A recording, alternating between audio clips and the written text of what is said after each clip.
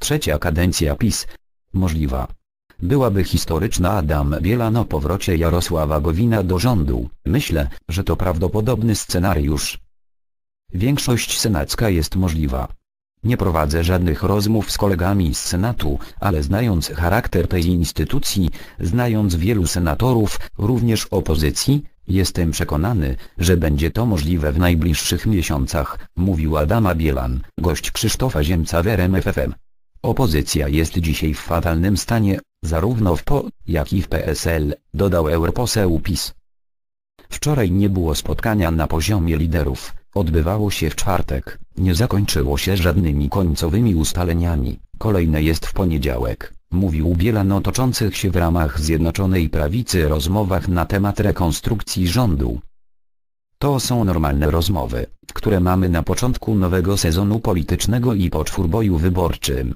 Musimy umówić się na szczegółowy plan działania, na to które zmiany będą traktowane bardziej priorytetowo, podkreślił europoseł PiS.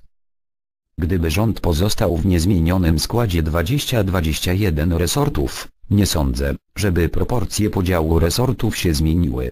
Ale wiemy, że są plany zmniejszenia liczby resortów do 12, to wówczas wszyscy proporcjonalnie na tym stracą, ale myślę, że w sensie odpowiedzialności za poszczególne resorty niewiele się zmieni, stwierdził Bielan. I jak dodał, negocjacji nie należy prowadzić w mediach, żeby nie wywołać wrażenia, że kłócimy się o stołki. Pytany o ewentualny powrót Jarosława Gowina do rządu, stwierdził, że należy poczekać na deklarację samego byłego wicepremiera, iż chce on wrócić i na zakończenie rozmów w sprawie podziału resortów. Myślę, że jest to scenariusz bardzo prawdopodobny, stwierdził Bielan. Trzecia kadencja PiS. Mówienie o zaniechaniach przez 8 lat rządów po PSL z całą pewnością w roku 2023 nie będzie działało.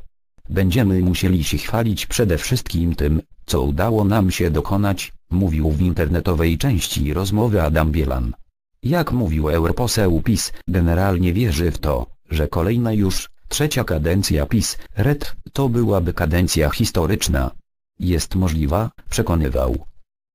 Wiceprezes porozumienia Jarosława Gowina był pytany również o to, jak PiS ma zamiar przekonać młodych Polaków do głosowania na jego partię. Myślę, że w ich przypadku dzisiaj jednym z najważniejszych problemów jest kwestia polityki mieszkaniowej. To jest olbrzymia bariera dla młodych ludzi do założenia rodziny, powód, dla którego wielu ludzi wciąż wybiera emigrację, stwierdził. Mówił o fiasku programu Mieszkanie Plus. Ten program nie zadziałał tak, jak chcieliśmy i z całą pewnością wymaga korekty. Wiem, że w resorcie pani premier Milewicz taka korekta jest przygotowana i będzie w najbliższych tygodniach wdrażana, zadeklarował. Europoseł zapewnił też Krzysztofa Ziemca, że zawsze w sytuacjach publicznych nosi maseczkę i chce się zaszczepić w tym roku przeciwko grypie. Krzysztof Ziemiec, jeszcze wczoraj wydawało się, że chyba wszystko jest uzgodnione, że kształt rekonstrukcji jest już znany. A dziś otwieram, Super Express, na drugiej stronie i czytam, jak wam nie pasuje, to się pożegnamy. Tak miał do koalicjantów powiedzieć wczoraj Jarosław Kaczyński. To prawda? Adam Bielan, wczoraj nie było spotkania na poziomie liderów, ono odbywało się przedwczoraj, w czwartek i nie zakończyło się jeszcze żadnymi końcowymi ustaleniami. To będzie proces, który zapewne chwilę potrwa. Kolejne spotkanie przewidziane jest w poniedziałek, natomiast mogę pana zapewnić, bo rozmawiałem z uczestnikami czwartkowego spotkania, że tego rodzaju słowa oczywiście z ust pana prezesa Kaczyńskiego nie padły.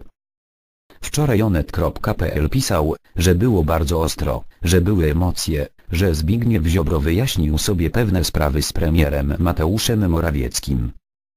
Nie sądzę, żeby można było atmosferę tego spotkania w ten sposób określać.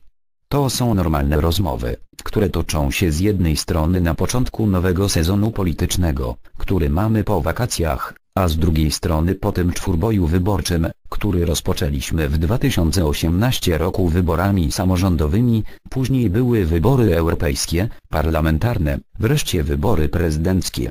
Teraz mamy trzy lata bez wyborów.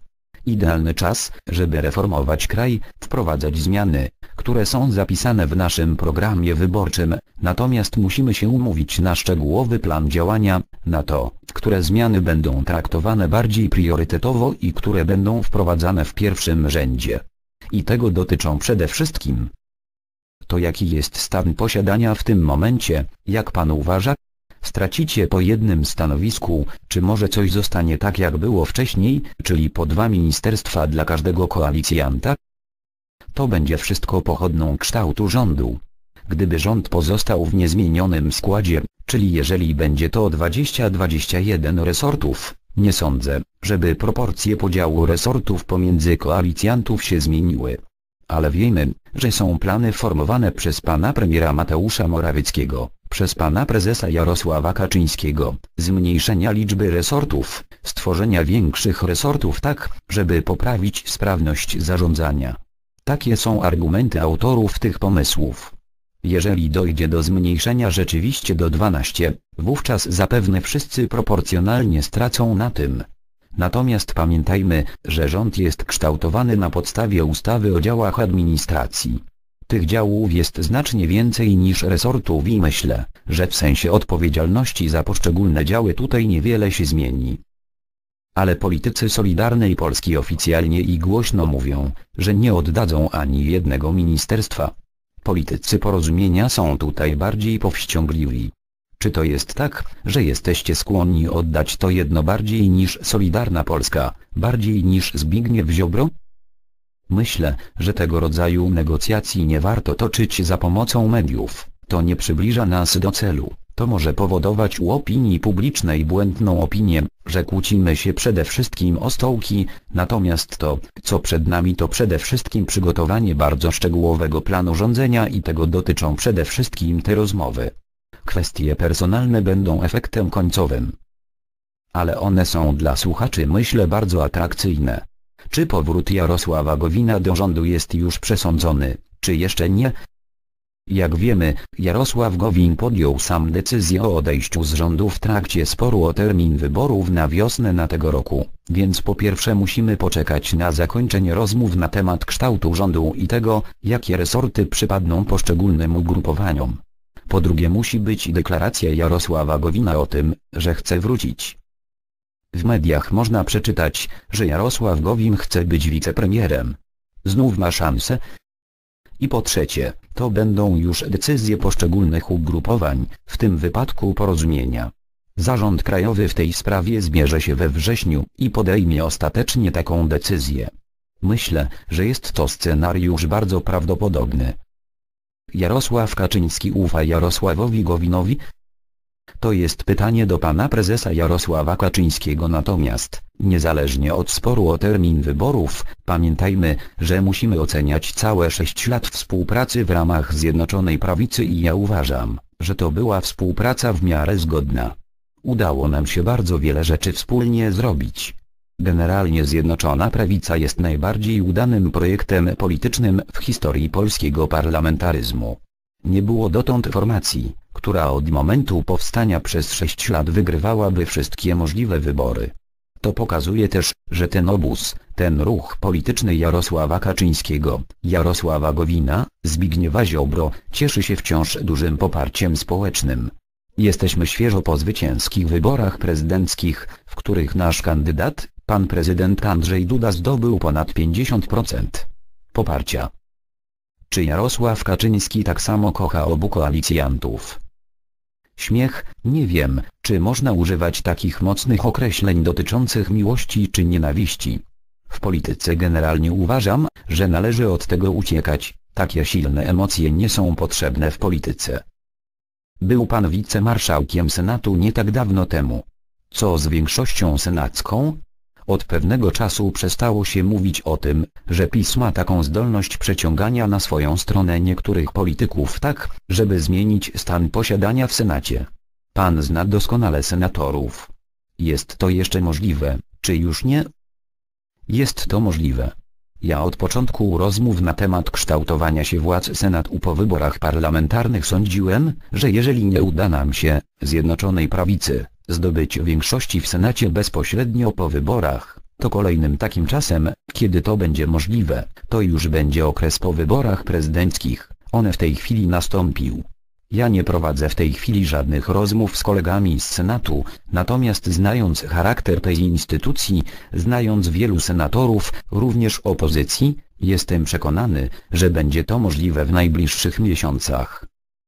Ale jeśli PSL nie dobije do rządu, a chyba na to wszystko wskazuje, że tak się nie stanie, mimo że w mediach były takie informacje, to wtedy to przeciągnięcie innych polityków w Senacie będzie bardzo trudne, bo nie sądzę, żeby koalicja obywatelska chciała przejść na stronę Zjednoczonej Prawicy.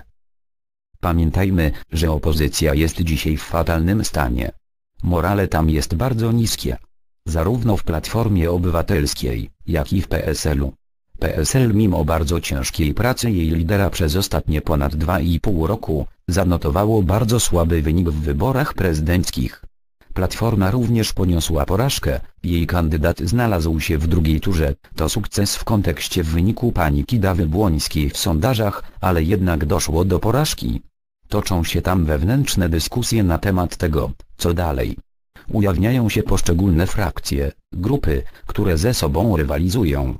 Widzimy rywalizację bardzo mocną Grzegorza Schetyny z Borysem Budką. Nie wiadomo, co zrobi w tej sytuacji Rafał Trzaskowski, i tak dalej. Pamiętajmy również, że w Senacie zasiada bardzo wiele osób, które nie są członkami partii politycznych, startują z list partii politycznych, ale do tej partii nie należą, więc Senat zawsze rządził się swoimi prawami. W poprzedniej kadencji kilkoro senatorów opozycji dołączyło do naszego klubu. Dziś opozycja bardzo mocno wypomina prezydentowi takie słowa odnośnie i szczepień na grypę, i noszenia maseczek. Czy to, co wtedy padło z ust prezydenta, to nie był błąd? Jak pan myśli dzisiaj, czekając na ewentualną drugą falę pandemii? Gdy prezydent wypowiadał te słowa na temat maseczek, rygory dotyczące koronawirusa były nieco słabsze, dlatego, że byśmy na fali opadającej, a na pewno mieliśmy do czynienia z dużym wypłaszczeniem jeśli chodzi o liczbę nowych przypadków. Dzisiaj widzimy, że wraz z sezonem grypowym i generalnie z sezonem, w którym jest znacznie więcej infekcji, te rygory muszą być większe. Pan sam nosi maseczkę? Ja noszę maseczkę zawsze w sytuacjach publicznych, gdy jestem na zewnątrz.